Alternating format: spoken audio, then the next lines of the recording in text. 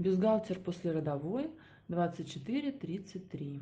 Рекомендуется носить с первого дня после родов. Модель с мягкой чашкой, без каркасов. Открытая линия декольте.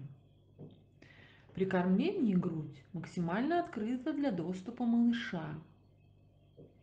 Перед выбором проконсультируйтесь с акушером-гинекологом. Исследования показали, что ношение специального послеродового бюстгальтера снижает вероятность возникновения послеродового мастита, появления трещин сосков, уменьшения объема лактации и образования стрий на коже молочных желез.